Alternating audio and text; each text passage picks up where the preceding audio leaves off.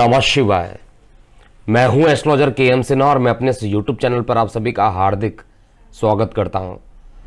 उत्तर प्रदेश की राजनीति में जो चुनाव अभी आने वाले जिसका परिणाम 10 मार्च 2022 में आएगा, उसके लिए सभी दलों का विश्लेषण किया गया, लेकिन बसपा का विश्लेषण नहीं किया गया था।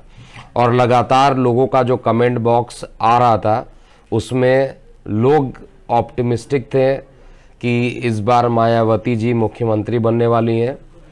तो इस पर विश्लेषण मैं ज़रूर करूँगा, चेक करने के लिए कि क्या ऐसा है। क्योंकि मुख्यतः मैंने जो चार्ट देखा, वो अखिलेश जी का चार्ट देखा, योगी जी का चार्ट देखा, और जो अब सबसे मेजर इनके बाद जो बनते हैं, वो मायावती जी हैं। तो मायावती जी का चार्ट क्या कहता है, इनका जन्मतिथि क्या है, ये सारी चीज़ें मैं आपको बताता हूँ, और डिस्प्ले में सारे चार्ट दिखा नहीं पा रहा हूँ, समय अभाव के कारण केवल इसको पब्लिश कर रहा हूँ और इसको केवल आप समझिएगा। इनका जन्म तिथि जो है 15 जनवरी उन्नीस सौ छप्पन है। सात बज के पचास मिनट रात्रि दौलतपुर, उत्तर प्रदेश में इनका जन्म हुआ था। और इनकी कुंडली कर्क लगन की कुंडली है। सप्तम स्थान पर सूर्य और बुद्ध की युति है। और 2015 से ही इनकी जो बुद्ध की दो 2013 से आप कहिए बुद्ध की जो इनकी महादशा प्रारंभ हुई है, इनको काफ़ी परेशान यहाँ पर किया है। क्योंकि बुद्ध जो होता है कर्क लगन की कुंडली में, मारक का काम करता है। एक तो मारक ग्रह और दूसरा मारक स्थान पर बैठना। ये दोनों ही स्थिति यहाँ पर अच्छी नहीं बनती है। इस कारण से यहाँ पर थोड़ी परेशानी इनके चार्ट में दिखाई दे रही है। हालाँकि इनका जो गोचर है, वो इतना खराब नहीं है। गोचर की जो स्थिति है, वो ठीक दिखाई दे रही है। गोचर में अगर देखा जाए तो इनकी वर्तमान बुद्ध के अंदर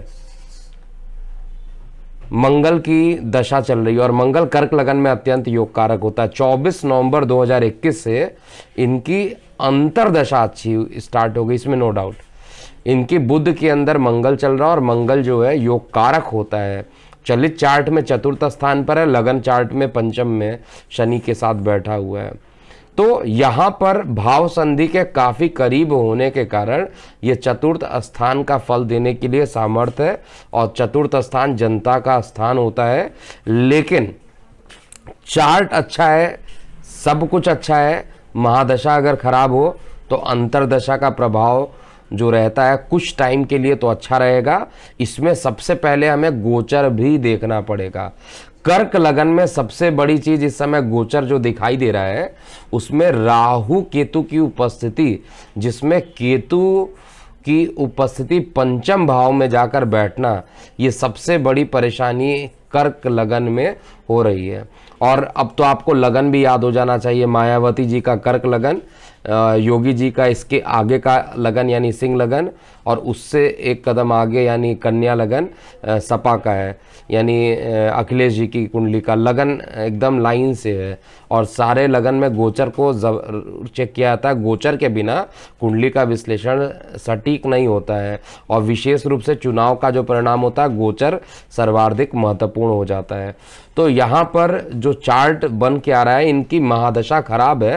अंतरदशा का टाइम कुछ टाइम के लिए देखा जाए, ठीक है, लेकिन इनकी जो प्रत्यंतर दशा जो चलेगी, वो जब ये रिज़ल्ट आएँगे, उस समय शनि का प्रारंभ हो जाएगा और शनि इस कुंडली में मारक की भूमिका निभाता है।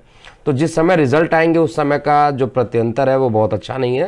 हाँ अंतरदशा निश्चित रूप से इनकी मंगल है, जो इनको कुछ हद तक अच्छा रिज़ल्ट देने के लिए सामर्थ्यवान बना रही है। लेकिन बहुमत का आंकड़ा मिल जाना, ये बिल्कुल भी चार्ट में क्लियर नहीं हो रहा है, क्योंकि लगन चार्ट में केतु का जो ट्रांजिट होने वाला है, वो इनके चतुर्थ स्थान पर है। चतुर्थ स्थान जनता का होता है। जनता से विमुख करना केतु का सबसे बड़ा निशानी होती है। यानी जनता से ही विमुख कर देना। जनता का सपोर्ट उतना मिल नहीं पाएगा जितना यहाँ पे दिखाई दे रहा है। क्योंकि अप्रैल में ये चेंजिंग होगा, गोचर जो होगा, वो लगभग लगभग प्रभाव एक आध महीने पहले या बाद में दे देता है। और ऐसा तो होगा नहीं कि चुनाव के बाद तुरंत ही जो रिज़ल्ट आएँगे, उसके बाद इनकी सत्ता चली जाएगी। ऐसा भी चार्ट में मुझे नहीं दिखाई दे रहा है। लेकिन फिर भी एक चीज़ कन्फर्म है कि इनकी अंतरदशा जो मंगल की है केवल वही चीज़ें मुझे ठीक दिखाई दे रही है। म, मतलब महादशा खराब है प्रत्यंतर खराब है लेकिन अंतरदशा इनकी ठीक है। और गोचर के हिसाब से देखा जाए तो गोचर में जो इनका एक तो लग्नेश चंद्रमा एक जगह रुकता नहीं है तो प्रतिदिन वैरी करता, आप लग्नेश के गोचर से नहीं निकाल सकते लेकिन जो इनका शुक्र है, जो जनता के स्थान का मालिक चतुर्थे शुक्र जो है, वो छठवें घर में गोचर कर रहा है। और छठवें घर में गोचर करना मतलब रोग, ऋण, शत्रु को पाल लेना और बाहर विदेश को देख रहा है। यानी ट्रैवलिंग तो ये ज़्यादा करेंगी हो सकता है कि ये या इनके पार्टी के लोग मेहनत तो ज़्यादा करेंगे लेकिन आउटपुट उतना आता हुआ मुझे नहीं दिखाई दे रहा है। तो ये अन, आ, मतलब निष्कर्षता मैं यही निकाल रहा हूँ कि ये सीएम नहीं बनेंगी और इनका जो चार्ट है वो बहुत अच्छा नहीं दिख रहा है। इसके साथ मैंने बसपा की जो चार्ट है उसको भी अगर मैं देख रहा हूँ तो उसमें भी स्थिति बहुत अच्छी निकल के नहीं आ रही है। जो पहले जिस समय ये सीएम हुआ करती थी, उस समय का चार्ट अगर मैच किया जाए तो उससे एकदम विपरीत चार्ट चल रहा है। तो सीट जो हो सकती है, पहले से कम हो सकती है इनकी। और इनका सीएम बनना बिल्कुल भी मुझे नज़र नहीं आ रहा है, लेकिन आपको कमेंट सेक्शन में ज़रूर लिखना चाहिए कि कौन सीएम बनेंगे। मैंने तो अपनी प्रोडिक्शन भी यहाँ पर दिया और मैंने चैलेंज भी दिया है कि इस बार योगी आदित्यनाथ पुनः 2022 में जो रिज़ल्ट आ रहे हैं मार्च में 10 मार्च को, उस दिन वही मुख्यमंत्री के सीट पर आते हुए आपको दिखाई देंगे और बहुमत के साथ ये आएँगे और ये भविष्यवाणी गलत होने पर राजनीतिक भविष्यवाणी भी छोड़ दूँगा, ऐसा मैंने बोला है।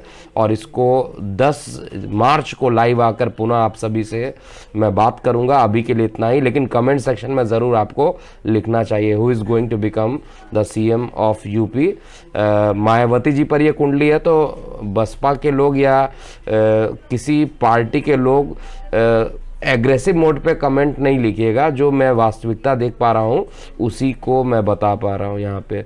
अगर कांग्रेस जो है ये पंजाब में अगर बीजेपी नहीं आ रही है तो मैंने वहाँ पर बोला नहीं आएगी। तो इसमें जो प्रिडिक्शन है, मेरा ऑनेस्ट प्रिडिक्शन है, और इसको ज़रूर आप चेक कीजिएगा। 10 मार्च को पुनः एक बार लाइव आकर बात करूँगा। अभी के लिए इतना ही। मैं हूँ एस्ट्रोलॉजर की एम सिन्हा ओम नमः शिवाय।